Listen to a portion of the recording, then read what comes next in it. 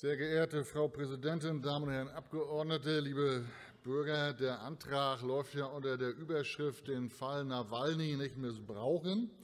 Da muss man ja auch einmal über die Person Alexei Nawalny etwas sprechen.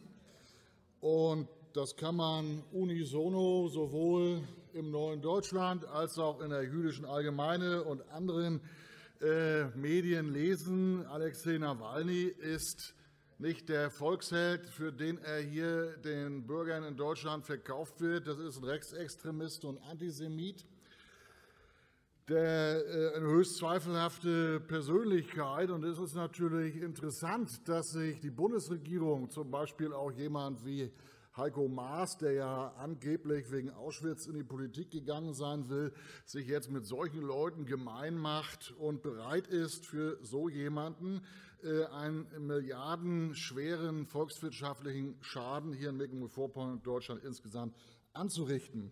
Das ist genauso bizarr wie seinerzeit, als der Ex-Oligarch Khodorkovsky hier wie ein Volksheld äh, in Deutschland gefeiert wurde, unter ähnlichen Umständen auch jemand, der sein Vermögen ja in den wilden 90er Jahren in Russland äh, auf höchst kriminelle und brutale Art und Weise zusammengerafft hat. Also diese Doppelzüngigkeit äh, hätte Frau Schwesig im Bundestag ja auch mal erwähnen können, auch wenn ihre Rede ansonsten sehr gut war. Andererseits ist dieser Fall vielleicht auch mal ganz lehrreich.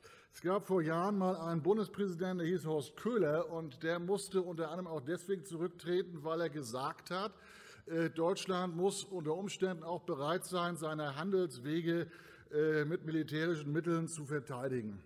So, damals wurde ja ein Shitstorm über ihm ausgeschüttet, weil äh, es damals äh, nicht vorstellbar war, dass Geopolitik und geopolitische wirtschaftliche Interessen, dass das eben kein Ponyhof ist, wie sich das jetzt hier auch in diesem Fall mit Nord Stream 2 offenbart.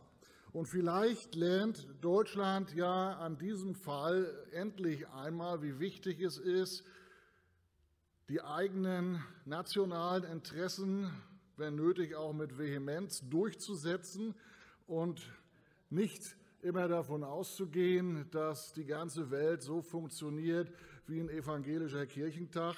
Die Amerikaner äh, die machen nichts weiter, als ihre Interessen und die Interessen ihrer Bürger zu vertreten. Die Russen machen es so, die Chinesen machen es so und alle anderen vernünftigen Nationen auch. Und es wäre höchste Zeit, dass auch Deutschland hier mal wieder zur Vernunft kommt und bei diesem und auch anderen Themen die Interessen der deutschen Nation, die Interessen der deutschen Bürger an erste Stelle rückt.